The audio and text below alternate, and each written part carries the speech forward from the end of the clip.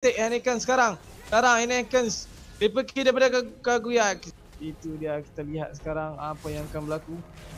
Sikit lagi Sikit lagi. Adakah dia mendapat space? Itu dia shutdown. Cantik daripada permainan daripada Gatot Kaca Itu dia.